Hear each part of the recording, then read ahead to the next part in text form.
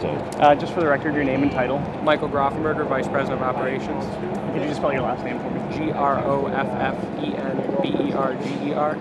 So I imagine, you know, like any business is so close to what's now referred to as the crime scene, you had to make a decision about whether to open or not. What sort of uh, decision making went into that?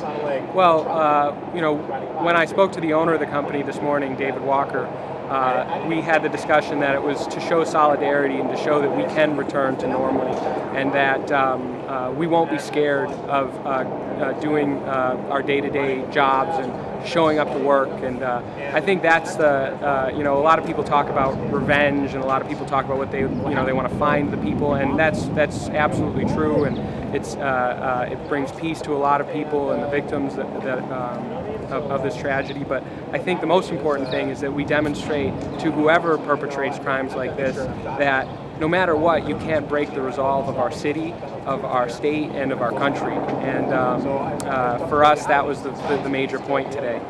Did you, I'm sure you also weighed security concerns, safety concerns. I mean, how much are they still weighing on you right now? Uh, absolutely. I mean, security concerns are very important, but at the same time, uh, if we, if, again, if we sat back and said we're afraid to open for security reasons, I mean, we're, we have uh, security personnel, we have a great staff of talented people that have worked in our industry for years, and they're very capable of, um, uh, of handling something like this. And, uh, you know, the most important thing was, yeah, we did have concerns, but we wanted to be open because, not because of you know, uh, we were interested in doing business, but because we were interested in showing both uh, the people on our street, I mean, this is a great street in Boston, and the people of our neighborhood, the Back Bay, which has been affected by this, that we can return to normal and that we can, we remain part of the neighborhood, and, and we're going to be here just like the people who live here, because ultimately the Back Bay is our home. And uh, there are hundreds of thousands of people who live in the Back Bay that call it home.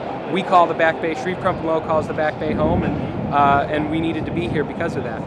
And finally, this is your home, it's my home too, and I'm sure you look at the city a bit differently today than you did yesterday. Is there, you know, just personally, is there an ache? I mean, how do you feel about your city now that it's been violated in this way? I, I feel uh, it's, it's hard to put it to words. I had the most emotional ride in this morning uh, into the city, um, and uh, I think for me, it, the most the most challenging thing was thinking about how such a happy event for so many people was turned into such a tragedy.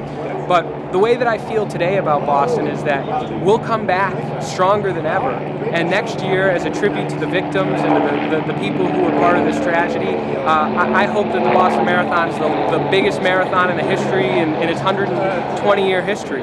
And I hope that more people running run it, and I hope it inspires people to get out and to be part of the community. And I think that the fact that Back Bay is such a wonderful community and Boston is such a wonderful city, that I feel better today about our city and the, the way that the first responders reacted and the people running into danger. Um, that's a mark of, of, of, our city and of our country. And um, you wake up sometimes on these mornings feeling with, with uh, an enormous sense of loss, but you ultimately feel like the reason that uh, we will prevail is because we are uh, a great a great city and a great country. And I almost forgot to ask you about hanging the flag, which we captured on camera. Um, what was the thinking behind that gesture this morning? You know, uh, my first reaction was I wanted to show people uh, that you know uh, uh, we're all part of one big community. No matter how big this country is, I mean, the outpouring of support. What inspired me was we do business with people all over the world. Uh, uh, in Switzerland and in uh, Germany and in, in New York and other places. And between yesterday and today, hundreds of emails have flocked into our store. People saying, "Are you okay? Is everyone okay?" they know this area. They come visit us.